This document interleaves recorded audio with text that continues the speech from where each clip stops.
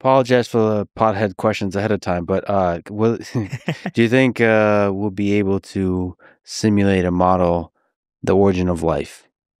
So being able to simulate the first from from non-living organisms the the birth of a living organism. I think that's a one of the, of course, one of the deepest and most fascinating questions. Um, I love that area of biology. You know, uh, there's people like there's a great book by Nick Lane, one of the top top experts in this area, called the, the Ten Great Inventions of of of Evolution. I think it's fantastic, and it also speaks to what the great filters might be. You know, prior or are they ahead of us? I think I think they're most likely in the past. If you read that book, of how unlikely to go, you know, have any life at all, and then single cell to multi cell seems an unbelievably big jump that took like a billion years, I think, yeah. on Earth to do. Right, so it shows you how hard it was. Right? Bacteria were super happy for a very very long for a very time. long time before they captured mitochondria somehow, right?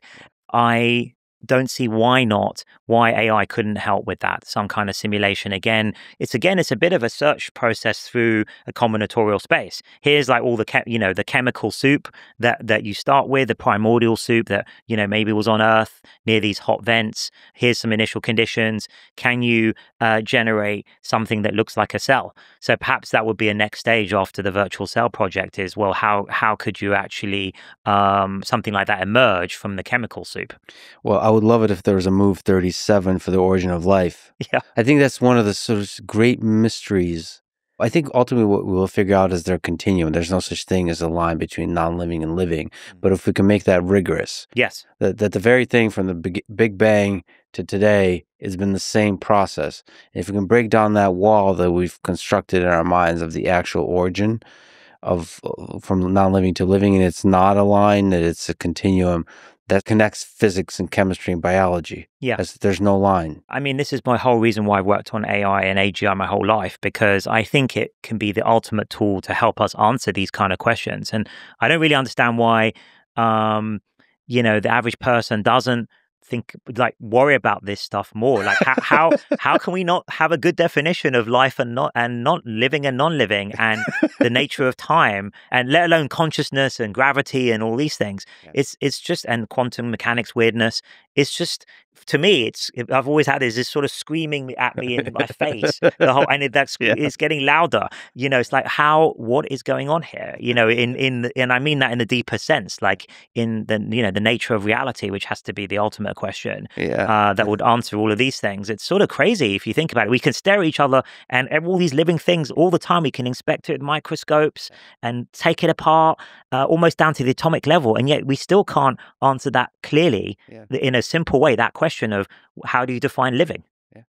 It's kind of amazing. Yeah. Living, you can kind of talk your way out of thinking about, but like consciousness, like we have this very obviously subjective conscious experience, like we're at the center of our own world and it, it feels like something. And then how how how are you not screaming yeah at, at the mystery of it all right. we haven't i mean but really humans have been contending with the mystery of the world around them uh, for a long long there's a lot of mysteries like what's up with the sun and and the rain yeah like what's that about and then like last year we had a lot of rain and this year we don't have rain like what did we do wrong mm. P- humans have been asking that question yeah. for a long time exactly so we're quite i guess we've developed a lot of mechanisms to cope with this yeah. Uh, these deep mysteries that we can't fully we can see but we can't fully understand and we have to have to just get on with daily life yeah. and and and we get we keep ourselves busy right in a way did we keep ourselves distracted i mean weather is one of the most important questions of human history we still that's that's the go-to small talk direction of, yes, of the weather especially in england yeah. and then it's which is you know famously is an extremely difficult system to model yeah. and uh even that system uh, uh, Google DeepMind has made progress on. Yes, we've yeah we've created the the best weather prediction systems in the world, and they're better than traditional fluid dynamics sort of systems that usually calculated on massive supercomputers takes days to calculate it. Um, we've managed to model a lot of the weather dynamics with neural network systems with our WeatherNext system. And again, it's interesting that those kinds of dynamics can be modeled, even though they're very complicated, almost bordering on chaotic systems in some cases. A lot of the interesting aspects of that, uh, um, uh, can be modeled by these neural network systems, including very recently we had, you know, cyclone prediction of where, you know, paths of hurricanes might go. Of course, super useful, super important for the world. And, and, and it's super important to do that very timely and very quickly and as well as accurately.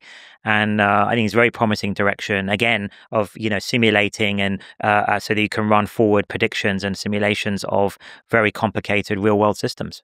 I should mention that uh, I've gotten a chance in uh, Texas to meet a community of folks called the Storm Chasers. Yes. And w- what's really incredible about them, I need to talk to them more, is they're extremely tech savvy mm-hmm. because what they have to do is they have to use models to predict where the storm yes. is. So they're it's this it's it's this beautiful mix of like crazy yeah. enough to like go into the eye of the storm yeah. and like in order to protect your life and predict where the extreme events are going to be, they have to have increasingly sophisticated models of uh, of weather. Yeah, yeah, it's it's a, a beautiful balance of like being in it as living organisms and the, the cutting edge of science. So they actually might be using uh, DeepMind systems. So that's yeah, they are. Hopefully they are, and I, I'd love to join them on one of those chasers. they look amazing, right? To actually experience it one time. Exactly, yeah. and then also to experience the correct prediction yeah. of where something will come yeah. and how it's going to evolve. It's incredible. Yeah.